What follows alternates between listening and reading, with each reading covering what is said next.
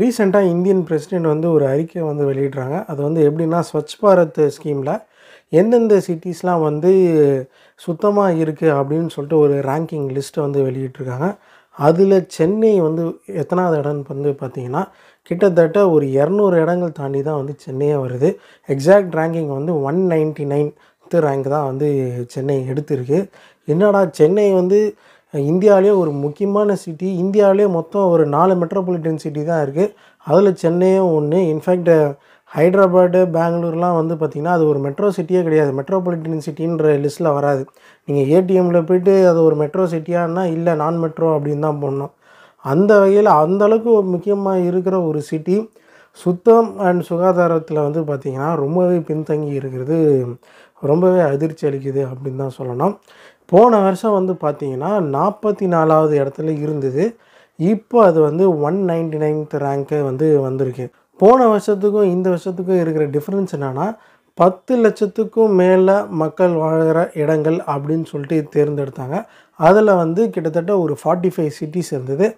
அதில் வந்து சுகாதாரத்தில் வந்து ஃபார்ட்டி ஃபோர்த் ரேங்க் தான் வந்து சென்னை எடுத்தது.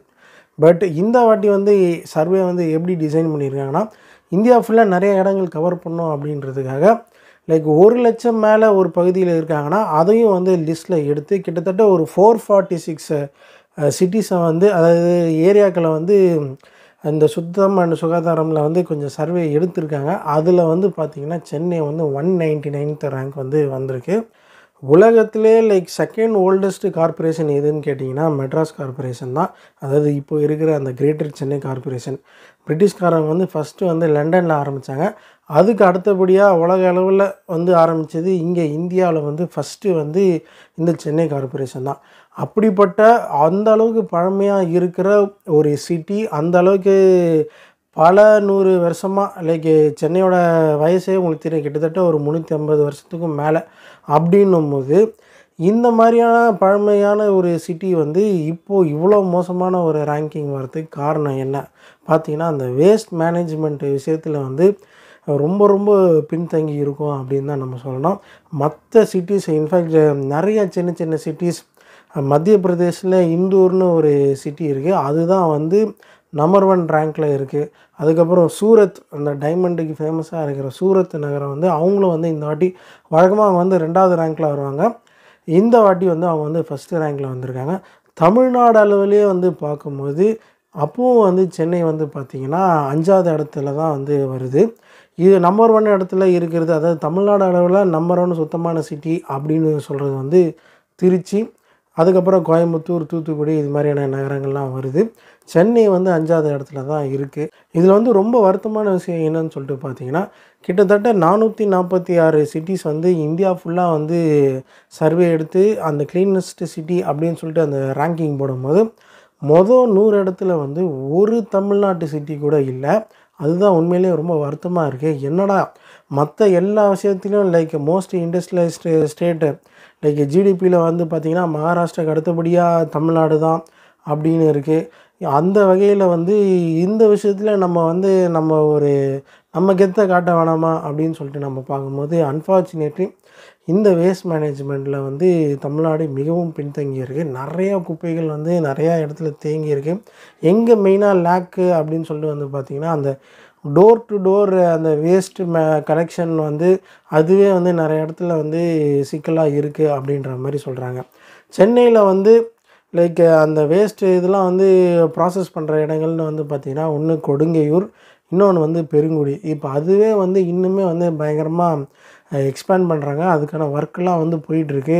அதெல்லாம் வந்து பண்ணாங்கன்னா அந்த வேஸ்ட் மேனேஜ்மெண்ட் இன்னுமே வந்து அது வந்து பெட்டராகும் அதனால் வந்து ரேங்கிங் வந்து ஃப்யூச்சரில் வந்து இம்ப்ரூவ் ஆகும் அப்படின்றது தான் வந்து இங்கே நம்ம கார்ப்பரேஷன் சைட்லேருந்து சொல்கிற பதிலாக இருக்குது இருந்தாலும் லைக் இந்த அளவுக்கு நம்ம வந்து ஒரு குளோபல் சிட்டியோட கம்பீட் பண்ணோம் சென்னை வந்து ஒரு லண்டன் மாதிரி ஆனோம் ஒரு நியூயார்க் மாதிரி ஆனோம் ஒரு துபாய் மாதிரி ஆனோம் ஒரு சிங்கப்பூர் மாதிரி ஆனோன்னு நம்ம நினச்சிக்கிட்டு இருக்கோம். ஆனால் அன்ஃபார்ச்சுனேட்லி இந்த ஒரு முக்கியமான விஷயத்தில் நம்ம பின்தங்கி இருக்கிறது உண்மையிலேயே வருத்தம் அளிக்குது.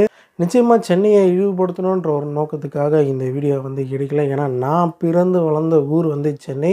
I am a very very proud Chennai person ஆனால் நம்ம ஊர் இந்த விஷயத்தில் வந்து ரொம்ப பின்தங்கி இருக்கேன். இந்த விஷயத்துலையும் வந்து நம்ம வந்து முன்னாடி வரணும். அட்லீஸ்ட் ஒரு ஃபஸ்ட்டு டென் ரேங்க்குள்ளேயாவது வரணும் அப்படின்றதுக்காக தான் வந்து இந்த வீடியோவே ஒரு அவேர்னஸ் மாதிரி க்ரியேட் பண்ணுது.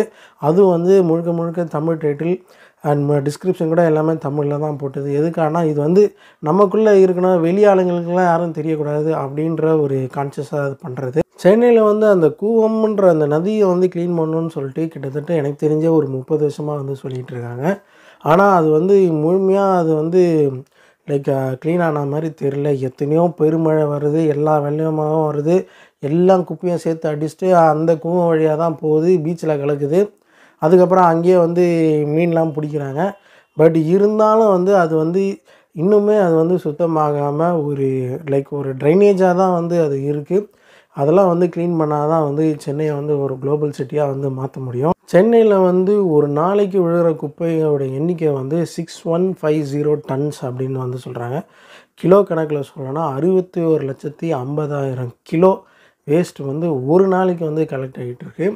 பட் அதுலேயும் வந்து முழுசாக வந்து அந்த ப்ராசஸ் பண்ணாமல் ரொம்ப லைக் ரொம்பவே கம்மியாக தான் வந்து ப்ராசஸ் பண்ணுறாங்க அதனால தான் வந்து ரேங்கிங்கில் வந்து ரொம்ப பின்தங்கி இருக்குது அப்படின்ற மாதிரி சொல்கிறாங்க ஃப்யூச்சரில் இந்த விஷயத்தில் நம்ம வந்து கரெக்ட் பண்ணி எப்படி மற்ற எல்லா விஷயத்துலையும் லைக் நிறையா விஷயங்கள் சொல்லலாம் சென்னை வந்து ஒரு மெடிக்கல் டூரிசம் ஹப்பு ஒரு கல்ச்சுரல் ஹப்பு இந்த மாதிரி நிறையா விஷயங்கள் சொல்லலாம்.